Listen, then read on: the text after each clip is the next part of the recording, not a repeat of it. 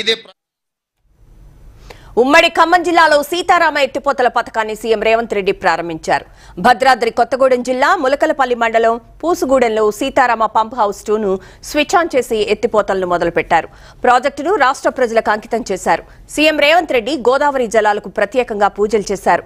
భద్రాద్రి కొత్తగూడెం జిల్లా అశ్వాపురం మండలం భీమనగుండం కొత్తూరు వద్దనున్న పంప్ హౌస్ వన్ను ఉమ్మడి జిల్లా ఇన్ఛార్జి మంత్రి కోమటిరెడ్డి వెంకటరెడ్డి ప్రారంభించారు. కమలాపురం దగ్గర పంప్ హౌస్ త్రీని ఉప ముఖ్యమంత్రి మల్లు భట్టి విక్రమార్క ప్రారంభించారు.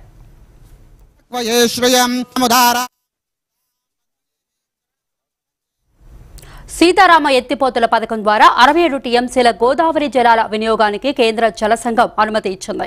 దుమ్ముగూడెం ఆనకట్ట మంచినీటిని మళ్ళించేందుకు అప్రోచ్ కాలువ తవ్వి పది పాయింట్ మూడు కిలోమీటర్ల దగ్గర మొదటి పంప్ హౌస్ను నిర్మించారు.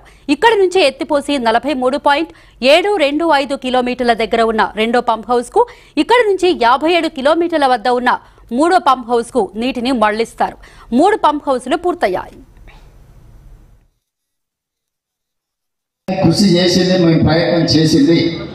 ఈ శ్రమనంతా చులకన చేసి మాట్లాడడానికి హరీష్ రావు గారు ఓ తాపత్రయపడుతున్నాడు.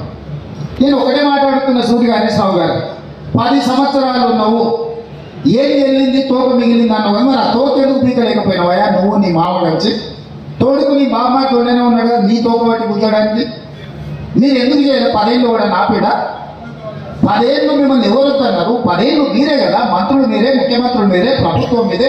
మొత్తం మీ కుటుంబమే పెత్తనం ఆడిపోతే కదా ఎందుకు పూర్తి చేయలే?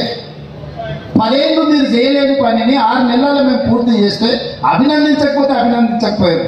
ఎందుకంటే మీ చెత్త బుద్ధి తెలంగాణ ప్రజలకు తెలుసు కాబట్టి చెప్పితే పనికొట్టారు మిమ్మల్ని ఆల్రెడీ.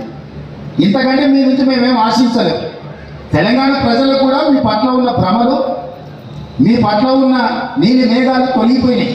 తెలంగాణ ప్రజలు గుర్తించారు కాబట్టి అసెంబ్లీలో ముప్పై తొమ్మిది ఎమ్మెల్యేలు ఇచ్చిన పార్లమెంట్ పోతే గురు సున్నా ఇచ్చింది సీఎం రేవంత్